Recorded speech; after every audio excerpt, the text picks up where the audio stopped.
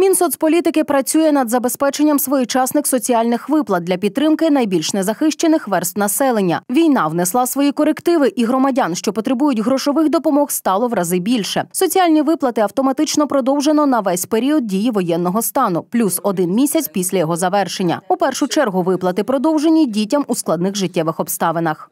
На час е, військового стану, а е, плюс місяць після закінчення цього стану. Е, Саме це саме такі допомоги. Це на дітей, над якими встановлено опіку чи піклування, на дітей хворих на тяжкі захворювання, дітям, батьків, батьки яких ухиляються від сплати аліментів, людям з інвалідністю з дитинства та дітям з інвалідністю, тим, хто доглядає за особами з інвалідністю першої та другої групи внаслідок психічного розладу, тим, хто не має права на пенсію, працездатній людині, яка не працює і доглядає за особою з інвалідністю першої групи. Також є такі групи населення, яким продовжили і щомісячні компенсації. Більшість виплат стосуються допомоги вимушено переміщеним особам.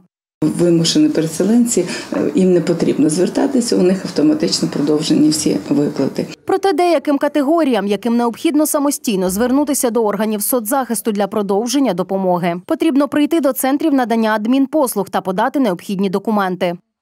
Отримувачам допомог необхідно звернутися до органів соціального захисту, а саме, а саме до ЦНАПу за місцем проживання, щоб підтвердити своє право на подальше отримання допомоги. Зокрема, мова йдеться про йде про допомогу малозабезпеченим сім'ям, одиноким матерям, які отримують виплати на дітей, особам, які отримували тимчасову допомогу через досягнення загального пенсійного віку, але не набули права на пенсію, оскільки право на такі виплати пов'язано з оцінкою майнового стану родини. Кошти на виплати нараховують індивідуально в залежності від допомоги, що отримували впродовж минулих півроку.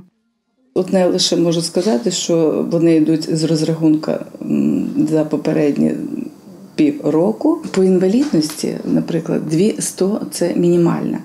А Далі вона може сягати і 7 тисяч. Розумієте, це залежить від того, який от, е, статус моєї родини і які доходи моєї родини. Якщо людина працювала і мала нормальну зарплату, а потім стала у неї там от така трагедія, і це то у неї буде велика допомога.